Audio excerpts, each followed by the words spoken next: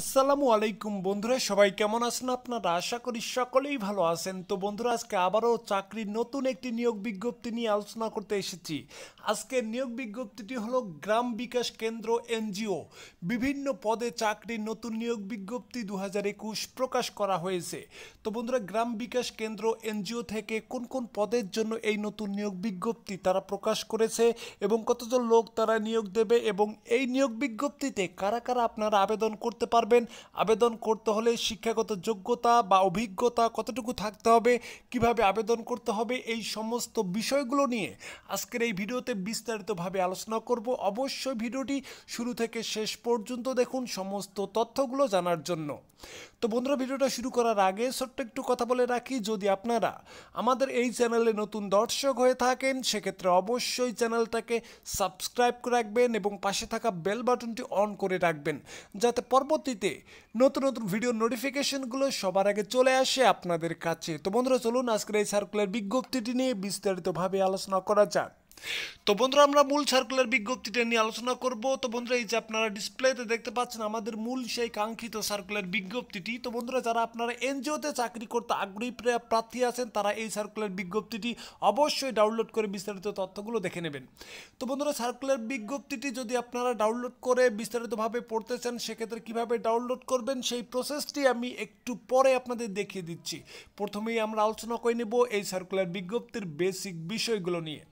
তো বন্ধুরা এই সার্কুলার বিজ্ঞপ্তিতে বলতেছে যে গ্রাম বিকাশ কেন্দ্র এনজিও জিবিকে গ্রাম বিকাশ কেন্দ্র এনজিও নিয়োগ বিজ্ঞপ্তি। এই নিয়োগ বিজ্ঞপ্তিটি প্রকাশ করা হয়েছে দৈনিক প্রথম আলো পত্রিকায় এবং প্রকাশিত হয়েছে একই জুন দু হাজার একুশ। একই জুন দু হাজার একুশ তারিখে এই বিজ্ঞপ্তিটি তারা প্রকাশ করছে। তো বন্ধুরা, আপনারা দৈনিক প্রথম আলো পত্রিকাটি যদি আপনারা দেখেন, তাহলে এই বিজ্ঞপ্তিটি পাবেন। তো আপনারা, আপনাদের সুবিধার্থে এই বিজ্ঞপ্তিটির লিঙ্ক আমাদের ভিডিও ডিসক্রিপশন বক্সে দেওয়া থাকবে। সেখানে ভিজিট করলে আপনারা এই সার্কুলার বিজ্ঞপ্তিটি ডাউনলোড করতে পারবেন। তো বন্ধুরা এখানে বলতে হচ্ছে যে গ্রাম বিকাশ কেন্দ্র এনজিও গ্রাম বিকাশ কেন্দ্র পার্বতীপুর বান্ন পঞ্চাশ দিনাজপুর কর্তৃক বাস্তবায়িত পল্লী কর্মসহায়ক ফাউন্ডেশন পিকেএসএফ এর আর্থিক ও কারিগরি সহযোগিতায় চলমান মাইক্রোফাইন্যান্স কর্মসূচির জন্য নিম্নবর্ণিত আহ, পদসমূহের নিয়োগের জন্য বাংলাদেশি প্রার্থীদের নিকট হতে দরখাস্তের আহ্বান করা যাচ্ছে। কর্মস্থল কর্ম এলাকা কোথায় হবে বা কর্মস্থল কোথায় হবে? দেখুন, রংপুর এবং রাজশাহী বিভাগ। রংপুর এবং রাজশাহী বিভাগের জন্য তারা নিয়োগ দেবে। পদের নাম, শিক্ষাগত যোগ্যতা, অভিজ্ঞতা, বয়স, বেতন, সুযোগ সুবিধা সম্পূর্ণ বিষয়গুলো দেওয়া আছে। এক নম্বর যে পদটি তারা সৃষ্টি করছে সেটা হলো assistant director audit and compliance তো এখানে পদের সংখ্যা একটি, শিক্ষাগত যোগ্যতা, হিসাব বিজ্ঞান অবলিক ফিনান্স অবলিক, ব্যবস্থাপনায় স্নাতকোত্তর ডিগ্রি থাকতে হবে। অভিজ্ঞতা ও দক্ষতার বিষয়গুলো আপনারা একটু সার্কুলার বিজ্ঞপ্তিটি ডাউনলোড করে বিস্তারিতভাবে পড়ে নেবেন। তো আপনাদের সুযোগ সুবিধা তারা কি দেবে? এখানে কিন্তু সম্পূর্ণ বিষয়গুলো ভালোভাবে দেখা, দেওয়া আছে। তো এখানে কর্মস্থলের নাম বলতে হচ্ছে প্রধান কার্যালয় পার্বতীপুর, দিনাজপুর। বেতন হবে আটষট্টি হাজার পাঁচশো একাশি টাকা। দুই নম্বর পদটা দেখুন, দুই নম্বর পদের নাম হলো ম্যানেজার মনিটরিং। ম্যানেজার মনিটরিং, এখানে পদের সংখ্যা একটি, একজন তারা জনবল নিয়োগ দেবে। এখানে বয়স চাচ্ছে পঁয়ত্রিশ বছর, শিক্ষাগত যোগ্যতা, অভিজ্ঞতা বিষয়ে বলতেছে যে হিসেব বিজ্ঞান বা ফিন্যান্স ব্যবস্থাপনা মার্কেটিং পরিসংখ্যান অর্থনীতিতে স্নাতকোত্তর ডিগ্রি বা এমবিএ পাস থাকতে হবে।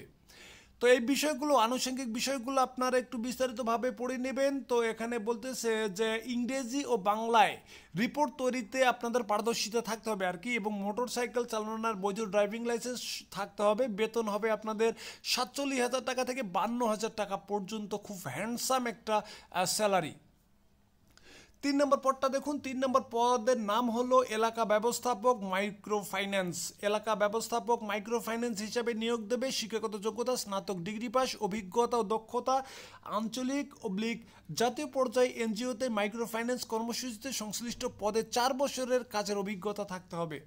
তো এই বিষয়গুলো আপনারা একটু ভালোভাবে পড়ে নেবেন। পাঁচ নম্বর পদটা দেখুন, পদের নাম দিয়েছে শাখা ব্যবস্থাপক মাইক্রো ফাইন্যান্স শিক্ষাগত যোগ্যতায় বলতেছে ন্যূনতম স্নাতক ডিগ্রি পাস থাকতে হবে, দক্ষতা বা অভিজ্ঞতায় বলতেছে আঞ্চলিক অবলিক জাতীয় পর্যায়ে এনজিওতে মাইক্রো ফাইন্যান্স কর্মসূচিতে সংশ্লিষ্ট পদে কমপক্ষে চার বছরের বাস্তব অভিজ্ঞতা থাকতে হবে এবং কম্পিউটারে দক্ষতা থাকতে হবে মাইক্রো ফাইন্যান্স এবং সফটওয়্যার পরিচালনায় পারদর্শী হতে হবে।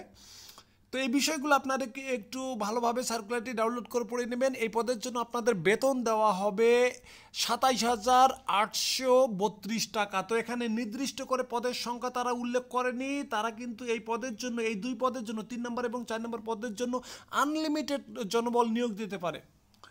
তো এখানে সকল প্রকার সুযোগ সুবিধার মধ্যে কি কি বলতে হচ্ছে? সকল পদের শিক্ষানবিশকাল তিন মাস থেকে ছয় মাস পর্যন্ত এবং শিক্ষানবিশকাল উত্তীর্ণ হওয়ার পর সংস্থার নিয়ম অনুযায়ী পিএফ, গ্র্যাচুইটি দুটি উৎসব ভাতা, অন্যান্য ভাতা এবং মোটরসাইকেল, মোবাইল বিল, ইন্টারনেট প্রদান করা হবে। তো এই সার্কুলার বিজ্ঞপ্তিতে আবেদন করার কতগুলো চুক্তি আছে অথবা কতগুলো নিয়মাবলী আছে, এই নিয়মাবলীগুলো পূরণ করে আপনাদের অ্যাকচুয়ালি আবেদনটি সাবমিট করতে হবে। তো এখানে নিয়মাবলীগুলোর মধ্যে বলতেছে, পূর্ণাঙ্গ জীবন বৃত্তান্ত, সকল সনদপত্র, জন্ম নিবন্ধনপত্র ও জাতীয় পরিচয়পত্র ফটোকপি সত্যায়িত হতে হবে। শততলা তিন কপি, পিপি সাইজের ছবি, নাগরিকত্ব সনদপত্র, মোবাইল ফোন নম্বর সহ আবেদনপত্র deputy director, H R and admin. গ্রাম বিকাশ কেন্দ্র হলদিবাড়ি, পার্বতীপুর বান্নশো পঞ্চাশ, দিনাজপুর বাংলাদেশ। বরাবরে সরাসরি অথবা ডাকযোগে অথবা কুরিয়ার যোগের মাধ্যমে আপনারা দরখাস্ত পাঠাতে পারেন। বিজ্ঞাপন প্রকাশের দশ দিনের মধ্যে দরখাস্তটি আপনাদের পৌঁছাতে হবে আর কি।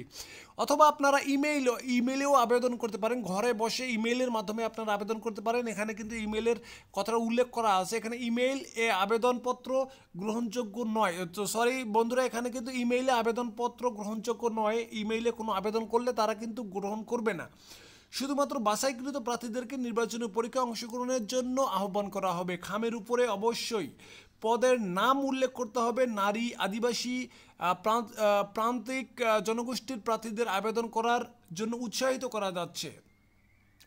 তো বন্ধুরা, অবশ্যই এই ভিডিও ডিসক্রিপশন বক্সটি আপনারা ফলো করবেন। সেখানে এই সার্কুলার বিজ্ঞপ্তির লিঙ্কটি দেওয়া আছে। সেই লিঙ্কে ভিজিট করলে আপনারা এই ওয়েবসাইটে চলে আসবেন। এই ওয়েবসাইটে আসার পরে জাস্ট একটু নিচে নামবেন সার্কুলার বিজ্ঞপ্তিটি আপনারা পাবেন। সার্কুলার উপরে জাস্ট একটু ট্যাপ করে ধরবেন সার্কুলারটি ডাউনলোড হয়ে যাবে। তো সেভাবেই আপনারা সার্কুলারটি ডাউনলোড করে ফেলবেন। তো বন্ধুরা, মোটামুটি এই ছিল আজকে জানানোর মতো একটি ভিডিও যদি ভিডিওটি আপনাদের ভালো লেগে থাকে, ভিডিওটি দেখে যদি আপনাদের একটু উপকার হয়, তাহলে অবশ্যই ভিডিওটাতে একটা লাইক দেবেন এবং অবশ্যই ভিডিওটি আপনাদের বন্ধু বান্ধবদের মাঝে শেয়ার করার ব্যবস্থা করবেন।